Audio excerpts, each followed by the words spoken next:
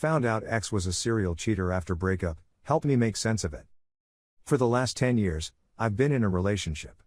The fact that I wished to end the relationship numerous times was due to my feelings for him as a family member. However, we were very different people. He was someone with little energy and motivation who preferred to stay at home, whereas I was someone who was extremely energetic and ambitious who preferred to be outside. But I'd always chosen to stay, partly because I had so much on my plate that I didn't want to deal with meeting new people, and partly because he checked all the core boxes that I knew my friends were having problems identifying in other people.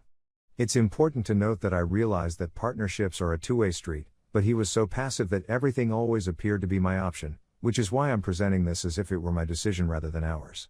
As another crucial reason, in our eventual separation, the fact that I was only carrying the two of us was a consideration. He was really pleasant, supportive, and trustworthy, in addition to being stunning and, according to many, he was a great guy, although I considered him to be too low energy to find him appealing in the same sense. The truth is that he was the only person in whom I had complete confidence, as were many of my friends and family members as well. He had a passive demeanor, which I found irritating, but when combined with his sympathy, he gave the impression that he couldn't possibly hurt you. When I was in fifth grade, I happened to catch him on a date with another girl. Due to the fact that it was a complicated fabrication, this should have triggered an alarm. The fact that he had cheated on me left me sad, and I couldn't believe it. He, on the other hand, made every effort to convince me that it was a one time incident. Let's fast forward four to five years to the present. Following an unsuccessful effort at an open relationship, at my request, and after realizing that this was not the right relationship for me, I ultimately broke the connection, and probably for him. To be quite honest, I was more concerned about losing my best friend than I was about feeling bad about abandoning him. However, despite making a promise to be best friends, we ended up breaking up, again, driven by me. We stayed good friends. After that, we stayed close friends for the next two years. Despite the fact that we had a convoluted network of friends, we were able to sort it out. Following our divorce, I met someone who made me feel true joy and love for the first time since I was a child. But I felt guilty for being happy because every time I spoke to my ex boyfriend, he was depressed and complaining, and if asked about his love life, he would say, Oh, you know me, I don't even know where to go, I'm not doing anything. When I confided in a close friend who is familiar with him about my guilt about being delighted, he responded with, What are you talking about? When I was with him last week, he was having with two other women at the same time. He, on the other hand, insisted that he was not seeing anybody. He'd always been like this, terribly low on energy and usually bringing me bad and unpleasant news. Like, I'd be the first person he'd contact if anything went wrong, and things always went wrong for him, so I'd have to come to his rescue. And then I'd have to find out the fantastic news for myself. Also, I have to confess that I was always more successful than him in getting the things I desired, and I felt bad about it and had to minimize my success since he was struggling to find work at all. I was always there for him and helped him apply for school and employment. So, around two years after our separation, I was feeling bad because I had never been happier in my relationship, and my ex, well, he was still whining and miserable, and he also began seeing A for whom he was developing feelings, and I suppose she wasn't accessible, so he was just very sad. I was surprised to see his new type. For background, I'm a feminist artist, so simply a different kind, but I was relieved that he had someone to talk to so he wouldn't bring his sorrow to me.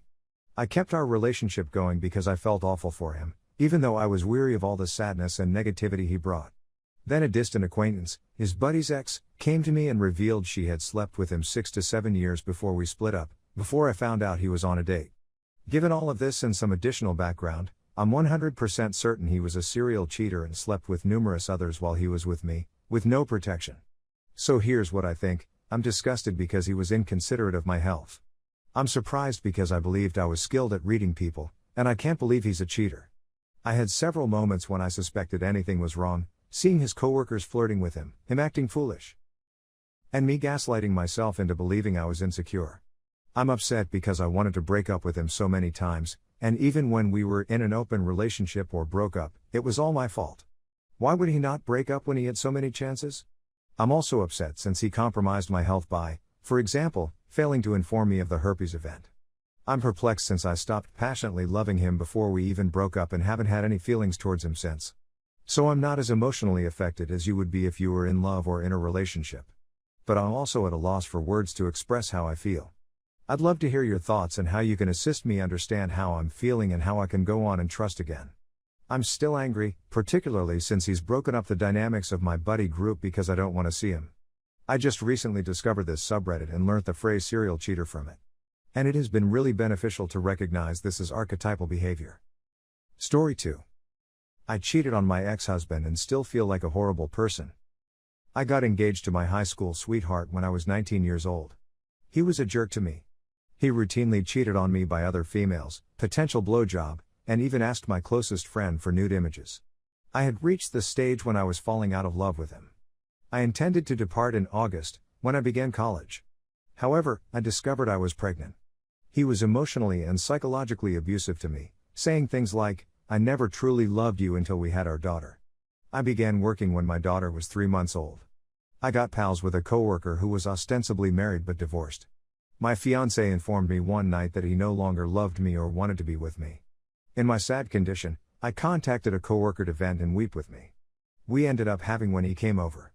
The following day, fiance and I reconciled, and I informed him about a work buddy and I kissed, but that was all. I told him I had emotions for a coworker and that I thought I should leave my job. Fiance advised me to stop talking to him and just get on with it.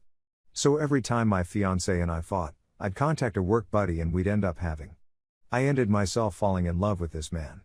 But the guild ate me alive, so I'd ended at random till my next battle for my fiance. I got married to my fiance around three months into the affair. I know, foolish, but in my 19 year old head, I believed if I simply married him, I'd be able to stop having emotions for my work buddy, and three months later I informed my husband about the affair. I was hoping he'd leave me, but he seemed to want to sort things out.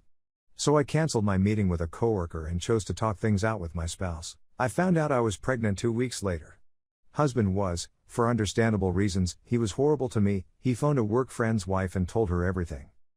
According to the evidence, they were never separated or divorced. My heart was torn to pieces. My colleague and I made the decision to end our relationship for good and concentrate on our marriages. Informed me that if the child turned out to be his by some miracle, we weren't having, so I knew it was workmates, he would stay, but if it turned out to be someone else's, he would go. As it turned out, the child was born, and a paternity test indicated that he was not my husband's child. The spouse, on the other hand, stayed. He was, on the other hand, a jerk to me. I was constantly referred to as terrible, disgusting names and was made to feel inferior. I was no longer authorized to work, and as a punishment, he ordered me to notify both our families and acquaintances about the situation. He, on the other hand, cherished my son as if he were his own. I stayed with him out of a sense of regret. The affair ended in my husband leaving me four years later. We had three children at the time, my oldest and youngest were his, our middle kid was my ex work pal, but we were able to get a divorce and are now both happily remarried and in good health in their new partnerships. Since it keeps me up at night thinking about how many people I've damaged and the lives I've destroyed, I've decided that cheating will never be an option for me again. I'm still baffled as to how or why I allowed myself to become that person in the first place. It was just something I needed to do to get it off my chest. Please be understanding, as this occurred eight years ago and I was able to keep my sweet, handsome, and great child out of the fight. Thank you for bearing with me while I vented about something that continues to occupy my life.